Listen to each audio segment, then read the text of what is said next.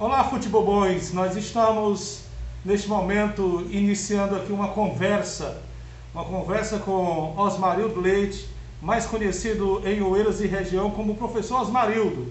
Quem não conhece o professor Osmarildo aqui na cidade de Oeiras, região, no estado do Piauí e fora do Piauí. O professor Osmarildo é referência na área do esporte, além de ter sido um grande profissional é, representando o nosso Piauí, representando a cidade de Oeiras, é um dos maiores captadores de talento da nossa região.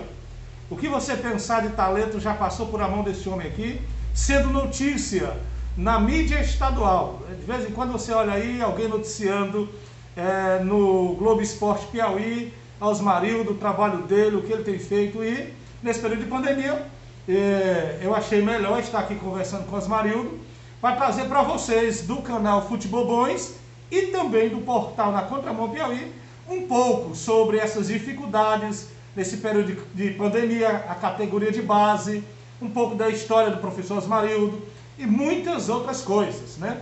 Por isso nós iniciando aqui, eu quero é, agradecer ao professor Osmarildo, muito obrigado porque atendeu o nosso convite de bom grado e está aqui para poder é, é, falar para vocês. Eu acredito que vai viralizar e muitas pessoas irão ver essa entrevista e mandar ela aí, fazê-la subir na internet, tá bom? Professor Osmarildo, é, neste momento, eu queria que o senhor, se possível, se apresentasse a essa turma, esses bobões do futebol que estão nos assistindo, né? Se apresentasse, falasse um pouco é, da sua vida na área profissional. Quando foi que o senhor é, é, foi para o primeiro clube profissional, é, se o senhor passou por alguma avaliação, se alguém lhe viu aqui em Oeiras, se o senhor precisou sair de Oeiras, fale um pouco aí para os nossos telespectadores.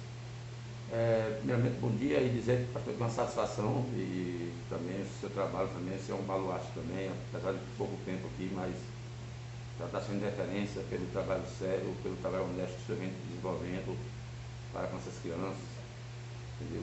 E mais também o lado social, né? Com certeza. Eu, eu não tive base, né? eu comecei com 21 anos, aí com 20 anos que é no intermunicipal e a gente fez três jogos contra Picos, porque tem para cidade contra cidade, amador. Aí eu, eu, eu fui bem, e por incrível que pareça, a gente perdeu para Picos, a semifinal. Picos foi campeão e o prefeito resolveu colocar o time no profissional. Aí o prefeito de Picos genérico prometeu, se o time fosse campeão de Picos, eles fariam uma mistura com o Flamengo de Teresina e entrega de faixas. Aí na quinta-feira o zagueiro de Picos quebra o pé. Não tinha zagueiro lá, aí lembrava, até brincava, para ter aquele cabeção de oeiras. Foi mesmo. Aí me ligaram aqui à noite, rapaz, eu lembro para a Rádio Val Candela, que tem telefone, a rádio entrou em contato comigo, eu fui para Picos fiz esse amistoso, fui bem amistoso, aí resolvi ficar comigo no campeonato profissional. Aí comecei em Pix em 91, tive a sorte de ser campeão em 91. Aí eu joguei no Pix, River, Flamengo, Quixadá, é, aí voltei pro Carcará. Carcará. Entendeu? Aí então quer dizer que o professor Osmarildo jogou em Picos, Flamengo, Flamengo, River, River Quixadá no Qui, Ceará. Quixadá no Ceará. E no Carcará. Aí retornou pro Carcará. E passei três meses no Cruzeiro de Belo Horizonte. Passou três meses três no Cruzeiro? Meses, aí eu cheguei em outubro, não podia escrever mais, não, porque fazendo amistoso, né? Outubro, novembro, dezembro. Em dezembro me deram passagem para Vila, para Oeiras e em fevereiro retornasse. Nunca retornei. Nunca? Aí com meu filho, eu casei, tudo, nunca retornei. Eu, tenho uma, eu lembro bem que tinha o Renato Gaúcho, o Paulo Sérgio, o Paulo Roberto, o pessoal do Cruzeiro da época. Nessa trajetória, professor, é, o que o senhor ganhou em termos de título nessa, nessa trajetória que o senhor passou nesses times, o que o senhor ganhou em termos de título? Eu fui campeão piauiense em 91 por, pela Sérgio Picos e 96 pelo River. E fui vice-campeão pelo Flamengo em 94. Aí ganhei. A primeira vez que temos vice-campeão aqui, né? Time de aqui em 2001 também. Entendeu? Então uma carreira vitoriosa. O senhor, é, nessa carreira vitoriosa, nesses títulos, foram em torno de quantos anos mais ou menos como jogador profissional? 14 anos. 14 anos. Começou aos 21 anos. 21 anos. É, é, hoje é mais difícil, né? Ah, com certeza. Nós fizemos um dia com, com o Mazaf, ele é 10, 10 anos, já vem de escolinha, já. As, as facilidades são maiores, né, pastor? Assim, são maiores, mas tem um problema também, mas a, a, a concorrência também é bem maior, né, pastor? Você sabe, o senhor sabe que na Jacareí é muitos meninos, veio milhares para fazer um teste no São Paulo, no Flamengo, no Palmeiras, no próprio Bahia, no esporte, é Vitória. É, será se, é, é, por exemplo, eu estava vendo ontem na, na é, é, num programa de televisão sobre essa questão de um jogador que está surgindo hoje no futebol brasileiro, inclusive no Santos. E ele não passou por base, ele já estava com uma idade um pouco avançada, se eu não me engano, 21 anos. 21, 21 anos. É, e é mais uma situação rara. Tem o caso do Lee Edson, que é ex-Corinthians, tem o caso do, do, do, do Bruno Henrique, Bruno Henrique, né? Bruno Henrique, do Michael também, que vem do terrão. Será se aqui no nosso Piauizão, será se na nossa região surgiria alguém assim? É, pastor, como, como o senhor está falando, não, é uma coisa assim, é, assim, é muito difícil. É difícil, né? O que é mais difícil também é também até, até a, a questão de futebol. É, hoje em dia o futebol tem muitos estudiosos. Até, é, é, é, um garoto, é, é hoje é 351, é 4, 442, é campo reduzido, 3 contra 3, é um, hoje está aí. Estou entendendo. E estão até pautando um garoto. De repente tem um garoto aqui de 20 anos aqui da região nossa, que é uma habilidade tremenda. Bom, aí você, você, muda para um clube e de repente o clube chega lá, o cara é, dois toques, aí tu não pode driblar mais, aí tu não pode dar uma caneta, tu não pode, dar um chapéu futebol. Está tá, tá, mas tá, tá sendo assim, é um futebol mecânico. Hoje o, o pessoal me liga, os maridos, tem um menino de 12 anos aí, eu digo, tem. O tamanho,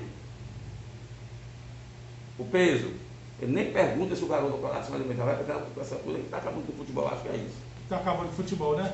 É interessante, essa questão é interessante, porque é, é, o, o, professor tocou num assunto muito bom. A gente iria falar sobre esse assunto, a gente já pega o gancho aí do professor Osmarildo, que aquele nos, nos falando aqui para nós em relação quando alguém é, solicita ao professor um jogador de 12 anos, um jogador aí 08, nascido em 2008, nascido em 2007, nascido em 2006, e pergunta logo o tamanho, o peso, é. né, a estrutura física. né? Se tem velocidade, se tem força. Se tem força, né? Não pergunta nem se tem muita é, técnica. É, não, não, não. Se ele está desenvolvendo muito bem. Tem, é, é interessante. E hoje a gente vê que um dos maiores destaques do Campeonato Brasileiro foi Campeonato Brasileiro 2020, 2021. E exatamente do Santos é o Soteudo. Que é pequeno. É muito pequeno. É, né? Muito pequeno. Muito pequeno. Eu, eu, eu estava numa Copa lá em, em, em, na Bahia e tinha um garoto lá que era pequeno, um fenômeno. E ele tirou uma foto lá do solteiro e ele ainda se tornou maior do que o solteiro. O solteiro é muito pequeno, solteiro. Então o futebol tem essas coisas, né? Justamente. É, o professor Osmarildo também tem uma, uma escola de talento fenomenal. Né? É um dos homens que mais manda criança é, para clubes. Hoje eu fiz um levantamento, ele não sabe, mas antes de conversar com ele, eu fiz um levantamento.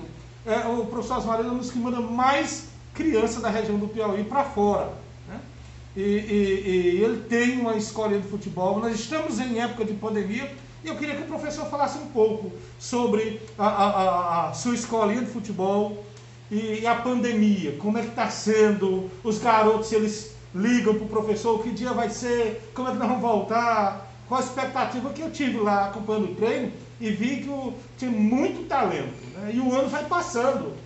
É, e, e por incrível que pareça, pastor, é muito, isso é muito estressante a gente pega os garotos e daquela ansiedade, liga para o DPC, aí vem decreto, de decreto, e infelizmente a gente não pode passar por cima, tem que respeitar. Com certeza. Entendeu? E eu fiquei preocupado, o, o que eu mais penso é que, essa geração minha de 08 é muito boa, assim, o Azaf o Marquinho, entendeu? É, é o, o, Rafael. o Rafael, uma fama, uma fama muito boa, ela, ela, entendeu? Tem um João Pedro, que é de Teruso Nova Jota, o Murilo. Uma, é uma, é uma geração muito boa. Eu estava muito, muito promissora mesmo, está muito assim. Mas é como eu disse, é, pastor, que acolheu comigo é tudo. Às vezes a, a, pessoa fala que ah, Deus tarda, mas não fala. Comigo não, eu acho que ele age na hora certa. Infelizmente está sendo um momento difícil, delicado, a gente tem que entender, né, pastor? Hum. Infelizmente, mas, mas as coisas também, pastor, que eu fico meio, meio assim, receoso com certas coisas. Aí pode ter, ter eleição, aí pode ter filho em supermercado, pode ter filho em hotel, tem banco, quer dizer, em futebol. O, o local aberto, o local amplo, com. Eu, eu só uma coisa que eu não entendo. É, é, eu passo por isso aí também. Eu passei por isso aí, passo o professor Osmarildo, realmente não é só o senhor não, mas é, eu também não entendo. Por exemplo, esses dias eu passei ali em frente a uma determinada academia, a academia, né, que foi tornado é, é, é, é essencial e está certo, e tem mesmo que ser essencial, mas eu passei ali, estava lotado, né? Lotado, lotado, lotado. Eu passei, parei a moto, olhei cheio de gente, aquela coisa. Mas em seguida eu vi, aí tinha um campo de futebol vazio. Isso me deu uma tristeza. Eu não sei se o professor sente essa mesma coisa. Aí eu olho, né? Tudo pode o futebol, que é a prática esportiva,